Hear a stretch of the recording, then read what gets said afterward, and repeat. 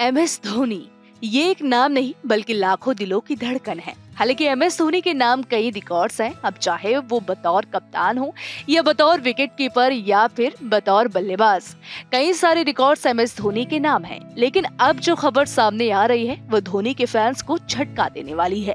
जी हाँ दरअसल कटक के बाराबाती स्टेडियम में रविवार को जब दोनों टीमें आमने सामने हुई तो दक्षिण अफ्रीका भारत के खिलाफ चल रही पाँच मैचों की टी सीरीज़ में दो शून्य की दक्षिण अफ्रीका ने बढ़त बना ली है।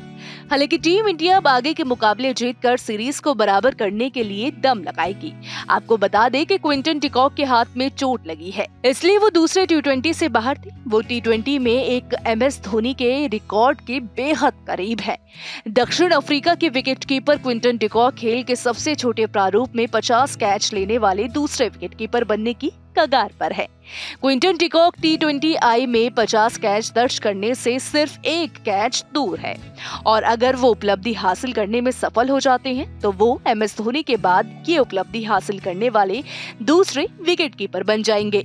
इसके साथ ही बाएँ हाथ का बल्लेबाज सभी खेलों में सबसे छोटे प्रारूप में 300 मैक्सिमम दर्ज करने से सिर्फ़ दो छक्के दूर है। पहले टी ट्वेंटी आई में भारत ने ईशान किशन के छिहत्तर रनों की पारी के कारण 20 ओवरों में 211 पर चार पोस्ट किया था।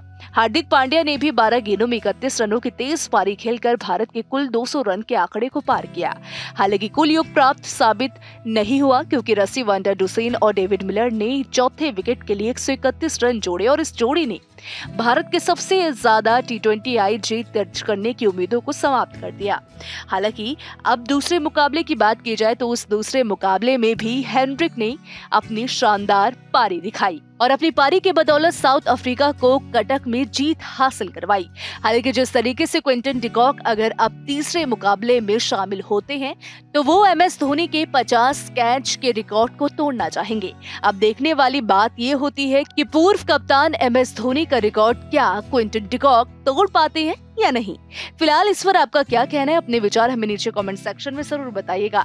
साथ ही अगर आपको हमारे वीडियो पसंद आया हो तो वीडियो को लाइक शेयर करना बिल्कुल भी मत भूलिएगा।